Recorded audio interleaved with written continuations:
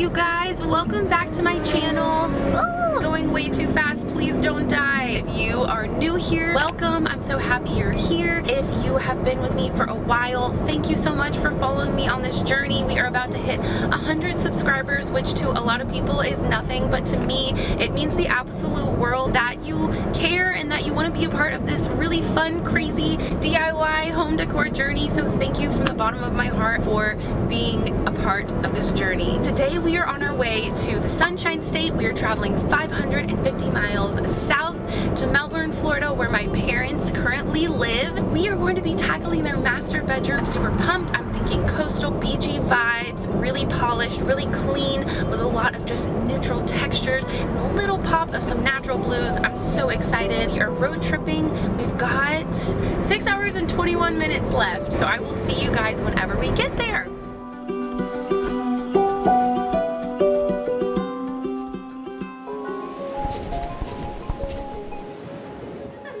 Things that I wanted to do is just kind of walk you guys through what my parents master bedroom currently looks like and what the design plans are as far as the makeover goes, what the layout is, where we're planning on moving things and shifting things in the room. Right whenever you walk into my parents master bedroom, you walk into this cozy kind of nook area right next to the window. It gets a lot of light in that area, so it's a really great spot to kind of create a little reading nook is what I'm thinking. They currently have this taller dresser, which I'm not a huge fan of walking right into furniture. If you can avoid it, obviously some layouts are a little weird sometimes, but I feel like if this was just kind of a little reading nook with a chair and I'm thinking maybe a rounded table with some books, a candle, and a really pretty just maybe olive tree I'm thinking. As far as the draperies go, we are going to plan on reusing them. We are going to plan on trying to reuse as much as we can in this renovation, just so then that way it's not going to be a super costly room makeover, I'm thinking we're gonna keep the draperies and just switch the rod out to something that's a little more modernized, something I'm thinking in a satin black and just a smooth finish. And I would like for the finials to be somewhat simple and not super, you know, ornate or anything like that. So moving on to their area where the headboard in the bed is facing, I would love to, again, we're going to use all of the current furniture that they have, just so then that way we can save a little bit of money, but I do think that this is really pretty furniture furniture. I love the reeding on the sides of the furniture that's actually coming in again. So it's kind of one of those things where everything comes back around. I've always heard that, that like interior design is very cyclical. What I love about this furniture is I love the granite tops on the nightstands. I think that's really pretty and it's very rare to be able to find nightstands that have a really sturdy stone top. So I'm really excited about that. I think if we just lighten up the furniture, just brighten it up with a really nice taupey, lighter shade think that that is really going to just modernize it up. I think it's nice to incorporate a little bit of color because I do want to just tie in that kind of coastal Mediterranean vibe mixed with a little bit of just some rustic elements here and there. So I love the softness of the headboard. I think the color is really pretty. I love that it is a suede. It's kind of like an ultra suede material. So I think just updating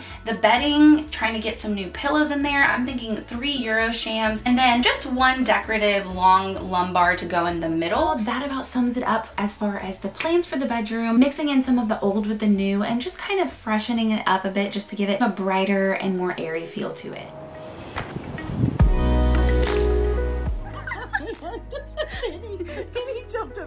we are on day one of the renovation.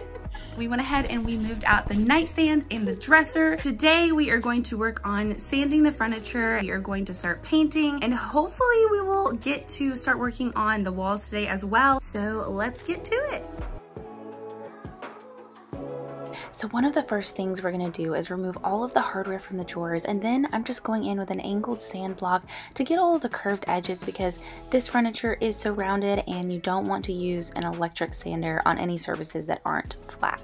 Just a little mini introduction. This is basically my dad, Chad. He came into my life when I was three, and honestly, he's the reason why I grew a love for DIY and projects in general. We ended up painting the furniture with a sprayer and then I used the Rust-Oleum spray paint in a flat finish for the hardware. I also sprayed a clear matte protective finish on them as well just for some extra protection. Day two of the renovation. I just pulled into the Home Depot parking lot because we need to pick up more paint for the sprayer. This is my first time actually using a sprayer. It's like my first experience. I've never used one before, but I'm really, really pumped with how the results are turning out. Just really smooth and clean. The prep time is definitely a lot more than whenever you hand paint furniture, but the results are just so, I don't know, just smooth and flawless. So I'm really excited about that. One thing that I have learned about using a sprayer though is that it uses a lot more paint. As far as using a sprayer on furniture, that's kind of a little bit harder to calculate that square footage. So if anyone knows of a good way to like estimate that, that would be a really useful tip to have during the process of using a sprayer. So let's just pop into Home Depot and get all of our goodies and get back so we can make some progress.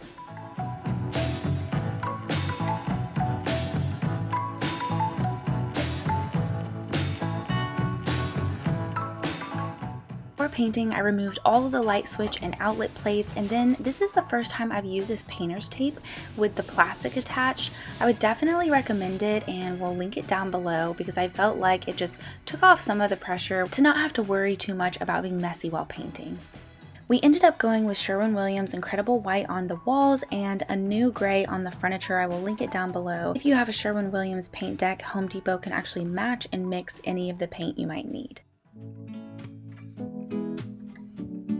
Is day three of the renovation. We have no rain today. It is all sunshine. And yesterday my parents went and they picked up the fan. Today I can get in my first coat of paint, my second coat of paint, and Chad actually helped me patch. They used to have this like old fire alarm thing above their light switch that they didn't use anymore. So he went ahead and he patched that. Chad is going to be outside painting all of the furniture for the second coat. I am going to be in here painting and finishing the room.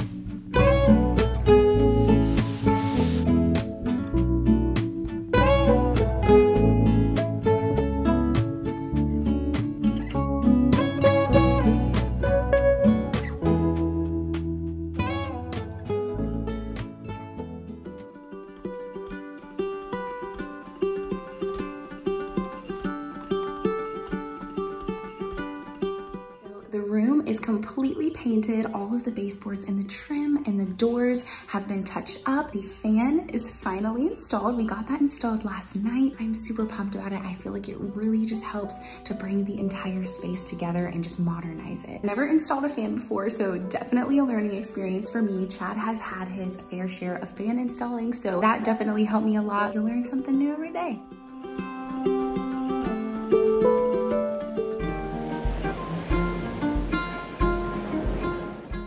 Quite literally in the home stretch. We moved all of the furniture back in yesterday, the headboard, the bed, and today I'm going to be trying to hang these mirrors by myself. So ooh, wish me luck. I'm also going to try and hang this painting right here and the frames that go along this accent wall where the chair and the table are gonna be. So after we get all of those things hung successfully, it's just fingers crossed, I can do this, I can do this. After we get all of things hung successfully, then we will get to put in the decor and the final touches.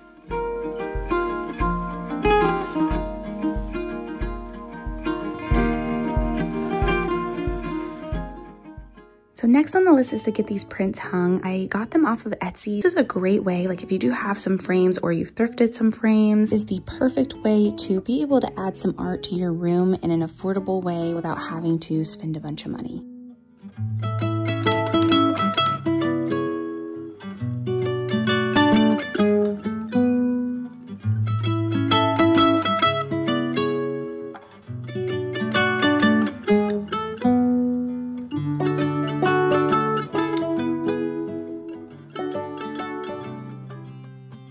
Surprise, surprise, because the mirrors are so heavy, I did end up needing my mom's help to install them.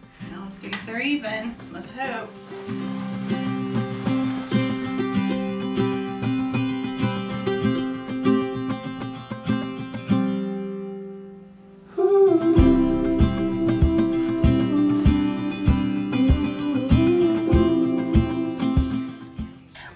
Using my mom's coverlet that she already had because it's white with a linen border and it went perfectly with the rest of the color scheme. I'm going in and folding the coverlet back twice, overlapping to expose the sheets. I feel like this just helps to layer the look and just give it like a crisp, clean hotel feeling. Then to layer in front of the king pillows, I'm adding these waffle knit Euroshams from Target, which I will link down below. Mom fell in love with this taupe herringbone quilt from Target. I have the exact same one at my house and I absolutely love the color, texture, and feel of it, so we picked one up for their room as well to layer at the foot of the bed.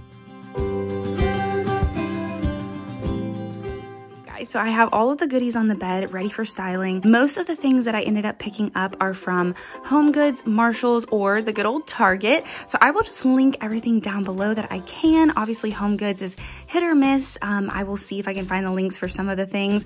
And then I did go by Barnes & Noble and pick up these books. So I will just link everything down below. I wanted to invest and gift these books to my mom because I knew she would appreciate them. The first one is A Summer Place by Tricia Foley. It's filled with inspiring spaces that are located by the ocean. The second book is Travel Home by Caitlin Flemming and Julie Goebel, filled with spaces that incorporate the elements of global design. On these books, I am layering this artisan vase to incorporate a more Mediterranean Tuscan feel, and then this candle with the decorative wicker to add a little coastal texture. Next, I'm draping this throw blanket from Home Goods over the chair for some added layers and then popping in this chunky textured pillow, also from Home Goods, to finish the area off. The nightstands we chose these black textured lamps from Target, which I will link below, and then this wicker accented vase for some fresh eucalyptus. To keep it practical, I added this lidded ceramic box to hide nightstand clutter because we all have it. I know I do. It is a great way to just keep it all organized. These two candle covers with the shell texture have been around since I was in elementary school and I decided to use them for the styling because I've always loved the warmth that they've added to a space. Next, to create height and balance, I'm adding these two vases from Target and then in front of them, this sculptural driftwood candle holder to tie in more coastal elements. Okay, you guys, it is final reveal time. Let's do this.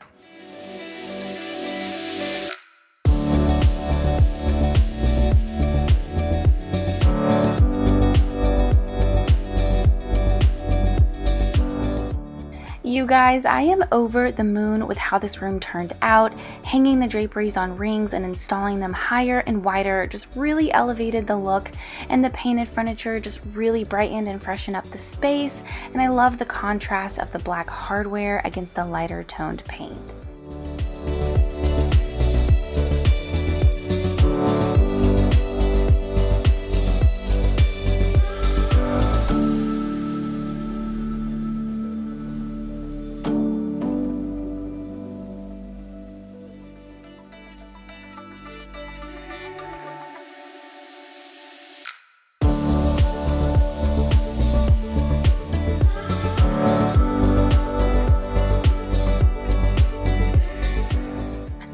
The bedding and the headboard, I am so happy with how the color scheme pulled together, using the existing headboard with pops of muted blues and dark contrasting blacks and browns.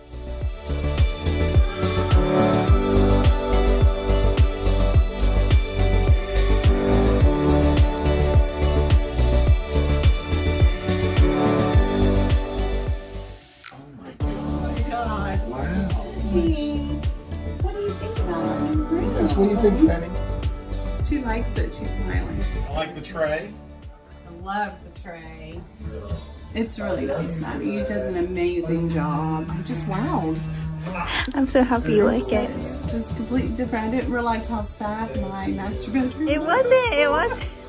It was sad. The furniture was sad. Everything was sad about This is really nice. I mean, there's so many things about it that I love that I can't even begin. Yay! That makes me so happy right, you guys, so that is a wrap on my parents' master bedroom makeover. I really hope that you like everything and that you enjoyed watching. I am super obsessed with how everything came out. It makes me really, really happy to just know that now my parents have a space that they can come into whenever they've had a long day and they can just come in and relax, kick back. It just feels so peaceful and serene, which is exactly what I was going for for their master bedroom. So I'm really excited with how it turned out. As far as my parents' master bathroom bedroom goes, we actually talked over the plans for the renovation. They decided that they wanted to hold off because they want to do a little bit more of an extensive renovation than we were planning on. So they would like to do that sometime middle of this year. So we will be coming back to tackle that project. But overall, I am so excited with how this master bedroom turned out. I genuinely hope that you guys enjoyed watching this extreme master bedroom makeover. It was a ton of fun to do. I'm so excited and stoked with how it turned out. If you enjoyed watching this video, it would mean the absolute world to me if you would give it a big thumbs up and subscribe for more in the future. And until next time, you guys,